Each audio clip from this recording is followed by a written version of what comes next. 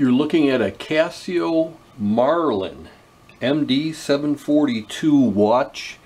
It's got a brand new battery and a brand new silicone deployment clasp band.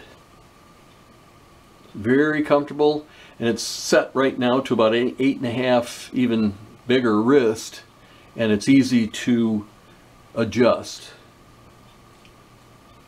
It's in excellent shape and it's got a 200 meter water resist or a 10 bar water resist and on the face of it you can see subtly there's a marlin embossed in it and I'll show you what the illuminator looks like in a moment. The bezel rotates freely. The bezel has a very nice detent to it Nice click to it and only turns one direction. And it turns freely. Very nice. The illuminator button is right here.